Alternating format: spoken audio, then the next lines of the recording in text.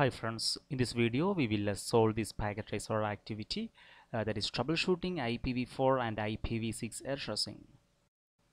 Friends, uh, before coming to this uh, packet tracer activity, if you are watching our channel first time or if you like to get these type of technical videos in future, consider subscribing and don't forget to enable that bell icon near to the subscribe button so that you will get the notification message whenever we upload a new video. Okay coming back to our packet tracer activity. Uh, here we can see our addressing table also uh, the objectives.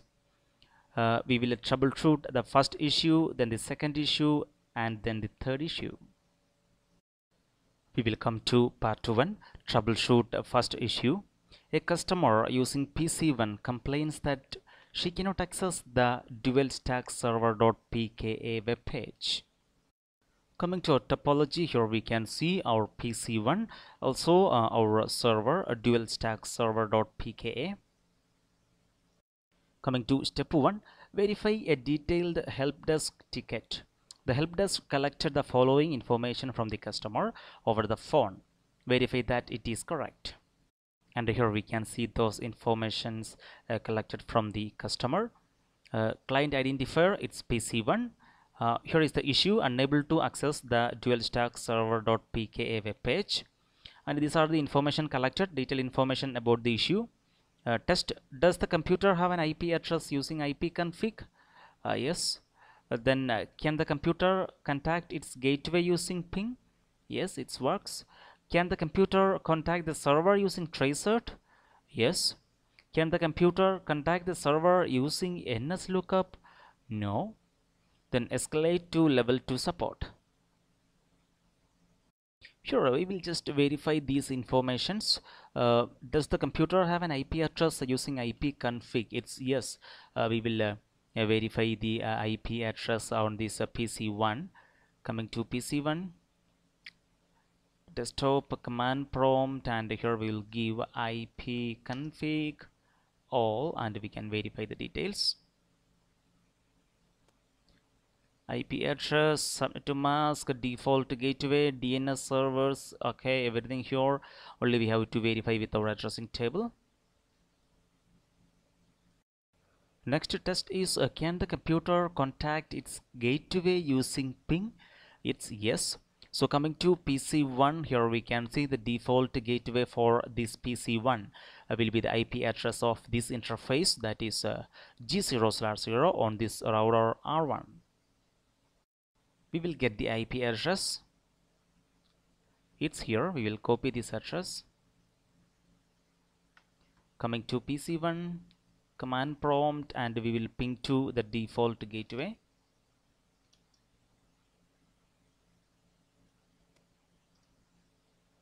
Here we can see it's working.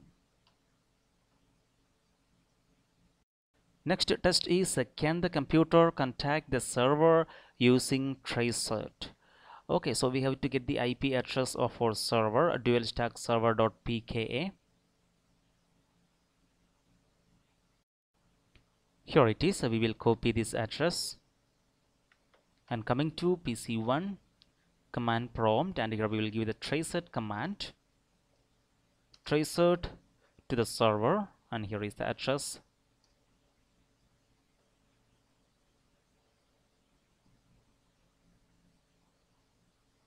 Trace complete. It's working.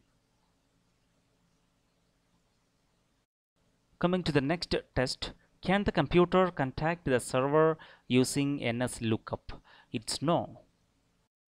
We can verify that. Uh, coming to PC1 command prompt. Here we will give a ns lookup.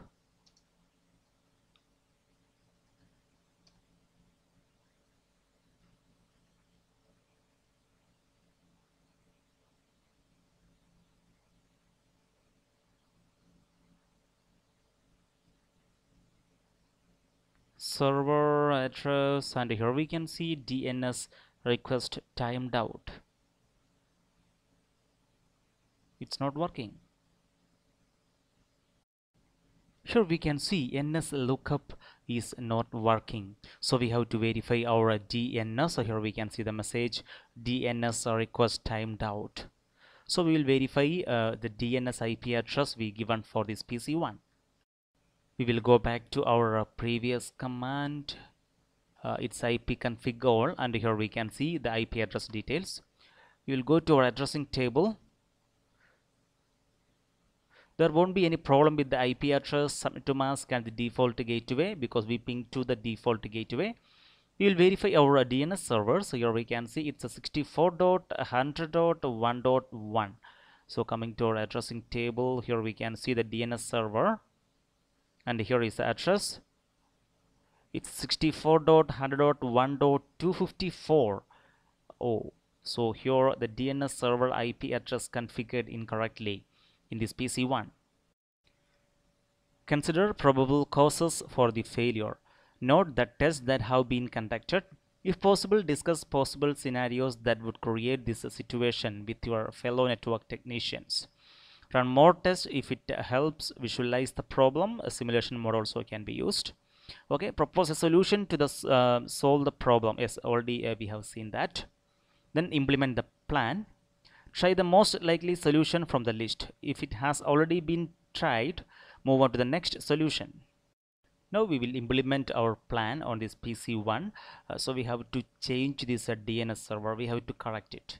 So we will close this and we'll go to ip configuration and here we can see dns server. So it's a 64.100.1.254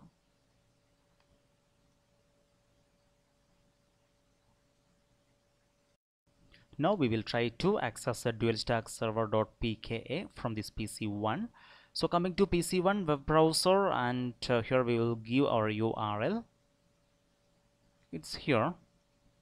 And we'll press go. Here we can see dual stack server. It's working.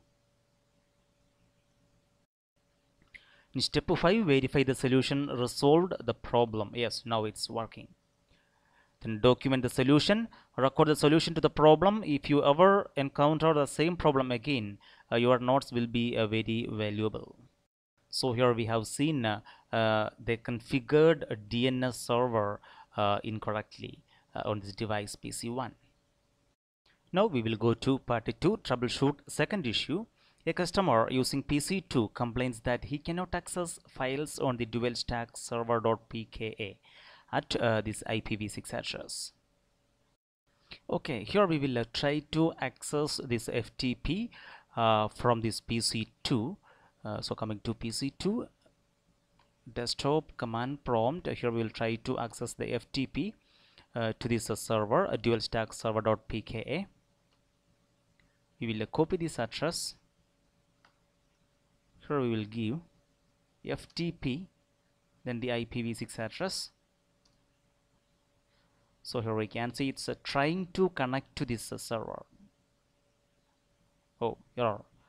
Here we can see an error opening for this uh, FTP timed out. Disconnecting from FTP server. No it's not connecting to that server. Coming to step 1 verify a detailed help desk ticket. Uh, the help desk collected the following information from the customer over the phone. Verify that it is correct.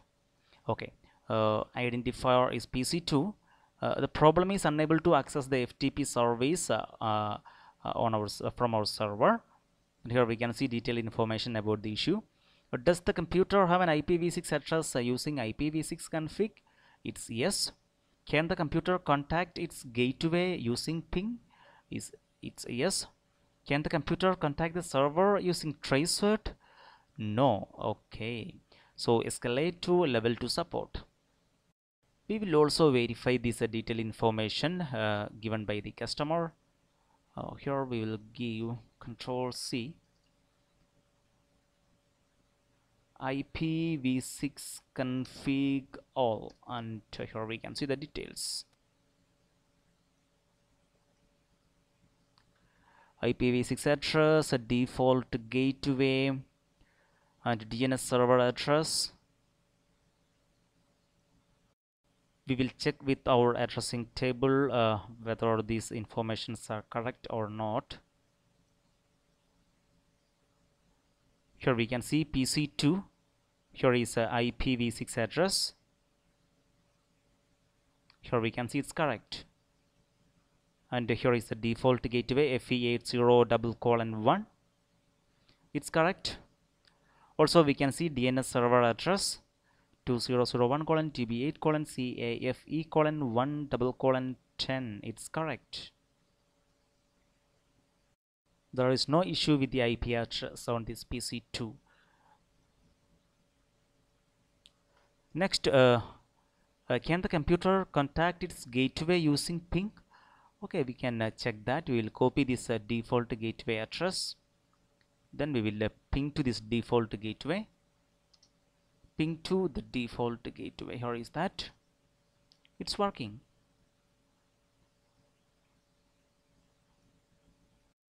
And next is uh, can the computer contact the server using tracert?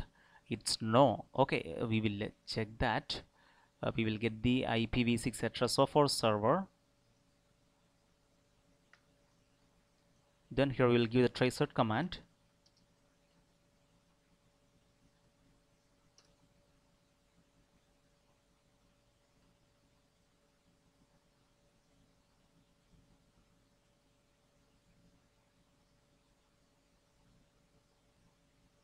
hmm. Request timed out. Here we can see it reaches uh, till this IPv6 address. It's a 2001 colon db8 colon 1 colon a001 double colon 1 here if you observe this IPv6 address uh, this IPv6 address belongs to uh, which device? So here we can see here we can see uh, the same uh, address from the same subnet 2001 colon db8 colon 1 colon a001 double colon 2 slash 64 uh, on this device r1 for the interface serial 0 slash 0 slash 0 okay coming to our uh, topology here we can see r1 and here is that interface serial 0 slash 0 slash 0 so we can uh, conclude that uh, this uh, ipv6 address uh, belongs to the other end of the link Sure, we cannot access this uh, internet uh, so we will verify our du dual stack server.pka so coming to this uh, dual stack server.pka you will verify the uh, IP address details IP configuration. Here we can see IPv6 configuration. Okay. CAFE 1 double colon 10 64 it's correct and IPv6 gateway FE80 double colon A. But here we can see they given FE80 double colon 1 IPv6 gateway is incorrect. We will correct this uh, IPv6 gateway. It's FE80 double colon A. Right. Now we will verify from PC2 we'll try the tracert command to our server tracert okay. Trace complete. Now it's working. Now we will try our FTP it's here. Here we can see it's prompted for the uh, username. It's working now we will go to part 3 troubleshoot a third issue. A customer using PC3 complains that he cannot uh, communicate with PC2. Okay, from PC3 uh, he cannot communicate to PC2. So verify a detailed help desk ticket. The help desk collected the following information from the user over the phone. Verify that it is correct. Client identifier PC3 uh, issue uh, is unable to communicate with PC2 uh, detailed information about the issues. Does the computer have an IP address using IP config? Yes. Does the computer have an IPv6 address using IPv6 config? Yes. Can the computer contact its IPv4 gateway using ping? It's no. Can the computer contact its IPv6 gateway using ping? Yes. Can the computer contact the IPv4 client using tracert? No. Can the computer contact the IPv6 client using tracert? Yes. Then escalate to level 2 support. Now we will check all this detailed information. So coming to pc3 command prompt here we will give ip config. All. IP address so here we can see there is no IPv4 address set uh, on this PC3 now we will verify this IPv6 address using IPv6 config on this PC3 alright we'll press ctrl C. Here we will give IPv6 config. And here we can see the details IPv6 address default gateway and DNS server. Next is uh, can the computer contact its IPv4 gateway using ping? Uh, here we have seen uh, there is no IPv4 address set for this PC3 also we can see uh, for router R1 uh, the interface G0 slash 2 we have only IPv6 address.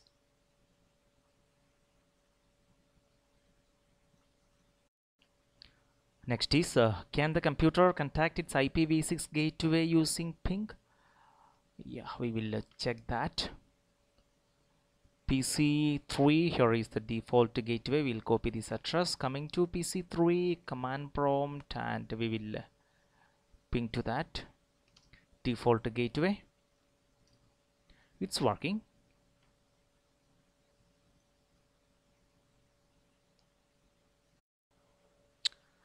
Can the computer contact the IPv4 client using tracert? Uh, it won't work. We have seen there is no IPv4 address on this PC3. Uh, can the computer contact the IPv6 client using tracert? We can try that. Tracert IPv6 address trace complete oh here we given the default gateway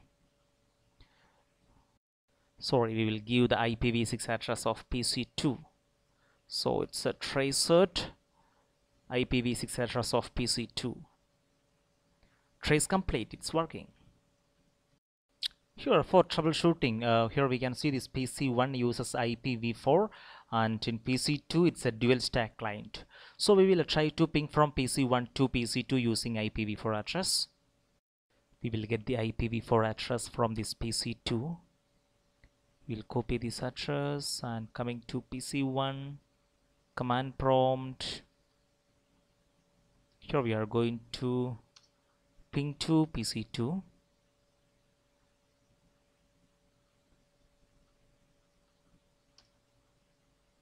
and we are waiting for the replies. Now it's not working here in this PC2 we will verify IPv4 address details using our uh, addressing table. Here we can see PC2 IP address subnet to mask and the default gateway. Coming to PC2 command prompt here we will give uh, it's uh, IP config all here we can see the details. IP address subnet to mask and here we can see default gateway is not set. Uh, we have to set the default gateway here. Coming to the configuration we'll go to IP configuration and here we will set uh, this a default gateway. Uh, it's 192.168.0.1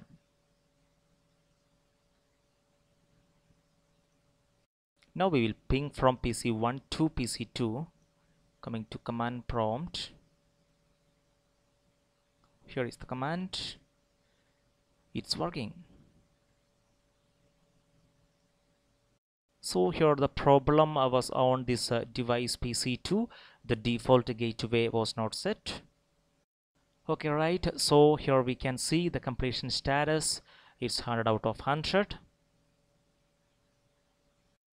Dear friends, if you have any doubt, any suggestions, uh, please comment below and stay tuned.